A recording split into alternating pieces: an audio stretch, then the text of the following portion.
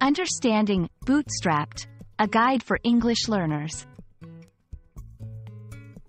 Hello everyone, and welcome to our English learning series.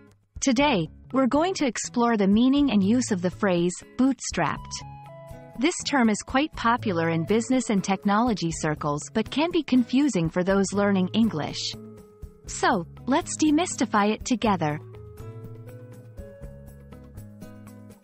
The phrase, bootstrapped, originates from the old saying, to pull oneself up by one's bootstraps. This idiom historically meant attempting an absurdly difficult or impossible task. However, over time, its meaning has evolved. Now, it signifies accomplishing something without external help, using one's own resources and efforts. In today's context, bootstrapped is often used in business and technology to describe startups or companies that are self-funded. These are businesses that haven't taken external funding or investments but rely on their own profits or the founder's personal funds. This term embodies the spirit of self-reliance and resourcefulness. To better understand bootstrapped, let's see some examples. 1. They bootstrapped the company, relying solely on their savings and initial sales.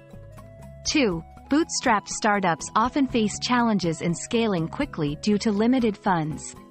These examples show how bootstrapped is used to describe self-started and self-sustained efforts, particularly in business.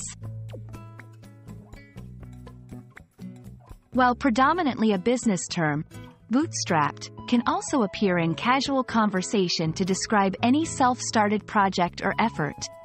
For instance, I bootstrapped my way through college by working part-time jobs, implies self-reliance and hard work without financial support from others.